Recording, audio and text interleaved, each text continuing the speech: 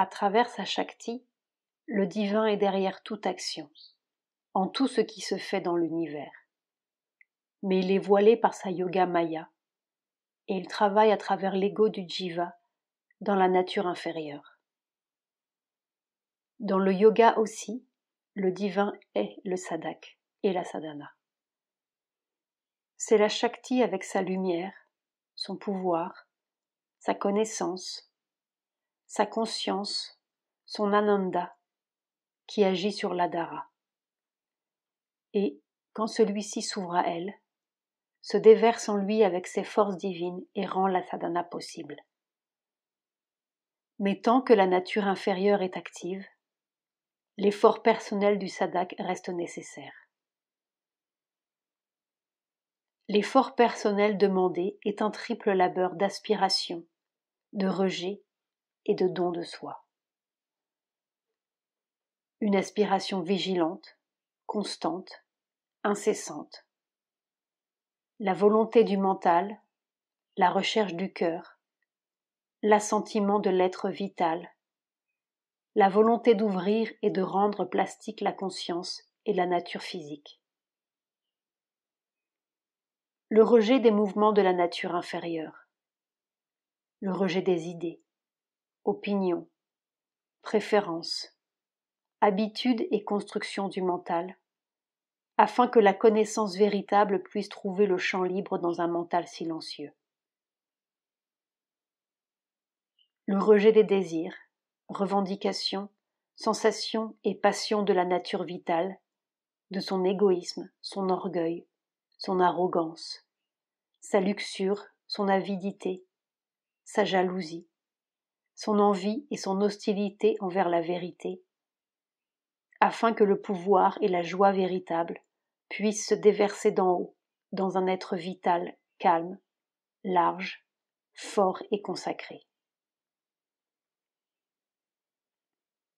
Le rejet de la stupidité de la nature physique, de ses doutes, son incrédulité, son obscurité, son obstination, sa petitesse, sa paresse, son mauvais vouloir à changer et son tamas, afin que la stabilité véritable de la lumière, du pouvoir et de l'ananda s'établisse dans un corps qui devient de plus en plus divin. Le don de soi, de tout ce que l'on est, de tout ce que l'on a de chaque plan de la conscience et de chaque mouvement au divin et à la Shakti. À mesure que le don et la consécration de soi grandissent, le sadak prend conscience que la Shakti divine fait la sadhana et pénètre en lui de plus en plus pour y établir la liberté et la perfection de la nature divine. Plus ce processus conscient remplace son propre effort, plus le progrès devient rapide et véritable. Mais il ne peut faire disparaître complètement la nécessité de l'effort personnel qu'au moment où la soumission et la consécration sont devenues pures et complètes, de haut en bas. Notez qu'une soumission tamasique qui refuse de se soumettre aux conditions et demande au divin de tout faire et de nous épargner toutes les difficultés et toutes les luttes, est une duperie et ne mène ni à la liberté, ni à la perfection.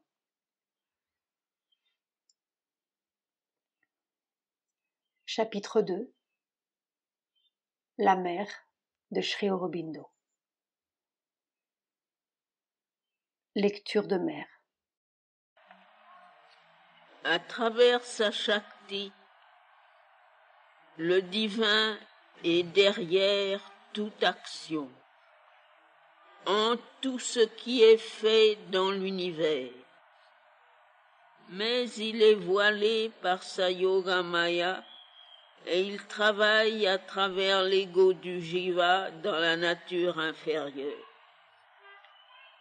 Dans le yoga aussi, le divin est le sadhaka et la sadhana. C'est la Shakti qui rend la sadhana possible par sa lumière, son pouvoir, sa connaissance, sa conscience, son ananda agissant sur l'adhara, l'être physique. Et quand celui-ci s'ouvre à elle, se déversant en lui avec ses forces divines. Mais tant que la nature inférieure est active, l'effort personnel du sadhaka reste nécessaire. L'effort personnel qui est demandé est un triple labeur d'aspiration, de rejet et de don de soi. Une aspiration vigilante, constante, incessante.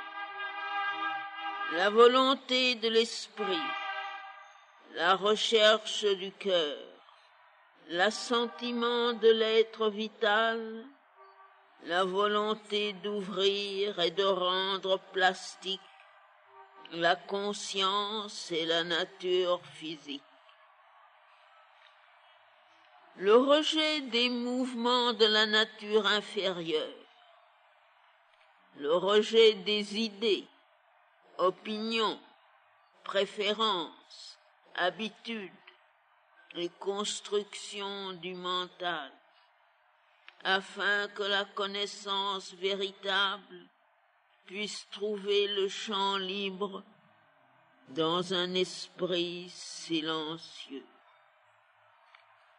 Le rejet des désirs, réclamations, sensations et passions de la nature vitale, de son égoïsme, son orgueil, son arrogance, sa luxure, son avidité, sa jalousie, son envie et son hostilité envers la vérité, afin que le pouvoir et la joie véritable puissent se déverser d'en haut dans un être vital calme, grand, fort et consacré.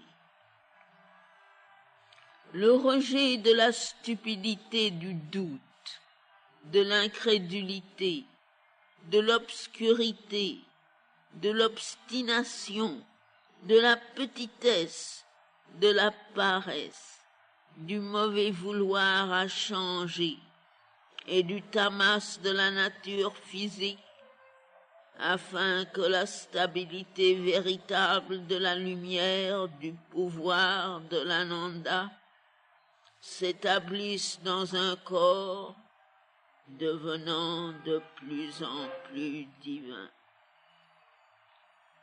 Le don de soi, de tout ce que l'on est, de tout ce que l'on possède, de chaque plan de la conscience et de chaque mouvement au divin et à la Shakti. Dans la mesure du don et de la consécration de soi, le sadhaka prend conscience que la Shakti divine fait la sadhana et pénètre en lui de plus en plus en y établissant la liberté et la perfection de la nature divine. Plus cette opération consciente remplace son propre effort, plus rapide et véritable devient le progrès mais elle ne peut faire disparaître complètement la nécessité de l'effort personnel qu'au moment où la soumission et la consécration sont devenues pures et complètes de haut en bas.